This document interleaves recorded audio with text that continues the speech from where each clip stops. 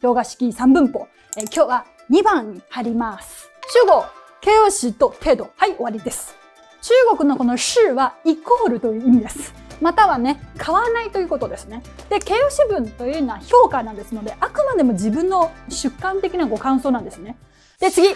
なぜ程度が必要かって感じですね。さっきのジェンとか、あの、ブーとか、そういう必要なくてもいいんじゃない？とか、入れなくてもいいんじゃない？っていう思う方いる、いるかな？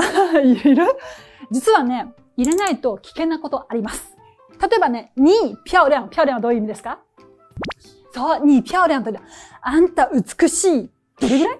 言え、言えてないですね。あんた美しい。それはね、日本人から見るとあんた美しいわっていうのはそれだけでいいんですけども、中国人にとっては物足りないです。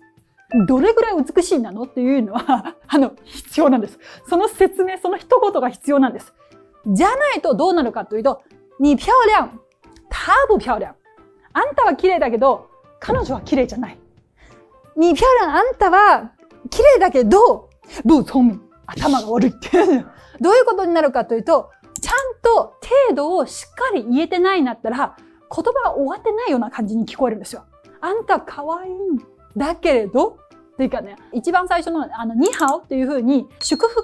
まあ、あるいは挨拶とか、あんたは元気でありますようにとか、あの、そういうふうになんか祝福になったらありだけど、基本的にコメントの時にはやっぱり、あんたにとってどれぐらいというのをしっかり入れないといけないです。だからね、あの、最初のように、基本的にね、ままずこの3つですね。えっ、ー、と、ノーナタブ。はい、覚えてね。はい、ブーで、ニーブー。ほにゃら、はい、せーの、ニーブー。で、またはね、うーん、ま、なんとなくね、あんた美しいねとかさ、ブーも言いたくないし、とてもも言いたくないし、適切なもの、適当なものがないなという時には、半を使います。二半。二半。はい。これね、多くのテキストではとてもと翻訳してるんですけども、実はこれはね、出刊の中で客観性を装うって感じなんですので、まあ、客観的に言うとあんたは綺麗だねというような責任感ですので。だから、あ顔芸一つで全部意味変わります。例えばね、うん、你很漂亮。ドヤ顔でしょ？だからどれぐらい心底でどれぐらい綺麗かわからないです。ね、あ、你很漂亮というのは、あ、美しいねと。あ、你很漂亮というと全然違うでしょ。だから顔芸一つでもう全部意味変わるから、これは変です。要注意ですね。で、だから、変は本当にね、使う言葉がもうない時には変を入れていいんです。で、普通はノーならブーで、または、順というのはちょっと感情激しすぎるんです。マジでというのは、実にという大げさな表現なんですので、だから褒めるときにね、あ、に真漂亮というふうに、あの、すごくね、心底からっていう感じです。で、ちょっと、とても、日本語のとてもな感覚なら、非常でいいです。だ、你非常漂亮。你非常漂亮。うん、いいですね。で、私がね、皆さんの発音を美しいなと聞いたときによく、非常好って言うんですけども、発音素晴らしい。とっても良いだ。非常好とよくね、言うんですけども、その非常好の謎が今解けたんです。はい、という感じですね。だから、程度がね、あの、基本的に、えー、絶対必要です。まあ、自分の意見を下すときですよ。自分の意見を言うときに、あなたにとってどれぐらいというのは必要なんです。他人の時にはいらないです。彼はどう思うはあなたわからないでしょだから主観的なんですよ。自分にとって、これはあんまり、これはとっても、これはまあまあというふうにちょっと考えてください。まあ、とにかく、あなたのご感想を明確に。あなたですね。他人はいらないです。あなたのご感想を明確にしてくださいっていうことです。それから最後ですね。なぜ格好形を使わないですか？まあ、そこには勉強まだ入ってないんですけども、ちょっとこれは例を見てくださいね。に、以前？以前はどういう意味ですか？昔ね。に以前、以前でしょ？に以前不漂亮ですね。で、これはもし日本語だったら、あんた昔は可愛くなかったよ。あんた昔は綺麗じゃなかった。まあ、そんなに日本人だったら赤裸々にも言わないかもしれないですけども。はい。に以前不漂亮というのは、あんたは昔は全然可愛くなかったよっていう表現があるんですよね。過去形があるんですけども、中国語に、この文の中に過去形らしいものありましたないです。必要ないです。まあ、なぜかというと、まあ、コメントできるものは大抵もう出来上がりのものなんですよね。もう中華だったらもう目の前に作ってあるものじゃないですか。で、あの、人ももう昔に過去にもう基本的に全部出来上がりのものなんですので、いちいち過去形を使う必要はないです。という感じですね。あとはね、感覚というものに自分のご感想、その感覚とか、ね、痛いとかそういう感じるときにも、あの、全部中国人の感覚に対しては全部実践がいらないと思ってください。すごく大雑把でしょ？もう SVO とか SA だけで十分です。という感じなんです。あとね、私的には絶対覚えて一言なんですね。これは中国人がコメントですね。評価ですからで H にしたんですけども、コメントなんです。你的中文。はい。你的中文。中文というのはどういうことかというと、中文は中国語の意味ですね。中文。中国語のことは基本的に2つのパターンの呼び方あるんですね。中文。もう一つは漢語ですね。あの、漢語は漢語っていう感じなんですので、これはどこにでも通じてるんですけども、大陸、まあ中国本土では中国語のことを普通話と呼んでるんです。で、台湾では国語、語語と呼んでるんです。で、マレーシアとかインドネシアという華僑の国になったら、華語、つまり華僑の言語という感じで、華語と呼んでるんです。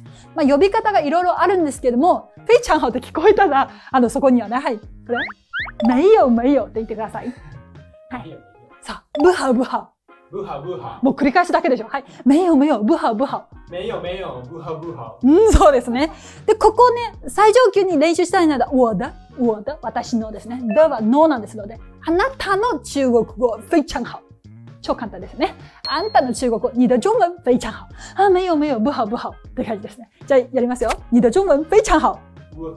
没有没有。没有没有。不好不好。不好不好。そうですね。えもう一回ね、後でカットで練習。はい。もう本当にこれはね、我的中文とか、私の中国語、我的中文不好不好です。你的中文非常好。没有没有。不好不好。我的中文不好不好。 というふうにね、あの、なぜかというと、あの、基本的にね、表、表画式の3つのその発音のテクニックで、今ね、文法も一緒に勉強して、ちょっと中国人に話しかけたら、你是中国人吗って話しかけたら、中国人の、ああ、是とか、ああ、我是中国人とか、你是中国人吗あんたは中国人ですか？とか、我是日本人とか、私日本人です。そういう、そういうやりとりをした瞬間でも、你的中文非常好で褒められるから。今はちょっと難しく感じるんだけど、すぐその日が来るようになります。で、ここね、あの、このフェイチャンハオ、実にいいでしょ？ブハブハ、良くない、良くない。だから、フェイチャンハオとブハブハで覚えて、中国語の形容詞文、評価文には、やっぱりこういうのは、フェイチャンとかブーとかそういう風な程度が必要です。まあ、こんな感じですので、この模型に戻るんですけども、まあ、質問ですね。だから動詞文、SV、SVO、SVVO。で、形容詞文の方がちょっとね、中国語オリジナルなんです。これはもう英語と似てないですね。だから誰かさんね、中国はもう英語と全く同じですよ。それはブって感じですね。あの中国は英語に似てないところもあるんです。中国は独自のものがあるんですね。まず B 動詞は使わないし、過去形のこの関連のラも使わないですし、あの逆に自分の意見を言うときに要程度ですね。だから、是とか了不要。でも要程度。で、基本的に SA だけで十分ですよって感じです。で、この二つがもう中国語の日本柱になります。で、あの、次回はちょっとね、質問を作る方に入りますけれども、この2本柱はすごく重要なんですので、前の動詞の動画と合わせて繰り返して繰り返して復習してください。何熟までやってくださいね。じゃないと縄文です。で、宿題もありますね。動詞文の方が動詞を書き出す。で、形容詞、あの、形容詞の方がもう形容詞を書き出すんですね。あの、コメントをしなさすぎてて、形容詞欠如の傾向がありますので、だからぜひね、皆さんに、ちょっとね、自分の好きな形容詞、いい言葉ばっかりじゃなくていいんですよ。悪口言ってもいいんです。うざいとか、あの、うるさいとか、そういうふうに、あの、やっぱりマイナスの言葉も結構ね、言語を覚えるときに重要なんですね。だから悪口が先に覚えちゃおうということはあるんですので、だから自分に興味のある、自分がよく口にするような形容詞をぜひ書き出してほしいなっていう感じですね。今の日本人は結構、美味しい、可愛いい、すごいで、はい、終わってるような傾向がありますので、ぜひそれ以外の形容詞を開発してほしいなということです。では、えっ、ー、と、今回は以上です。また次回のレッスン楽しみに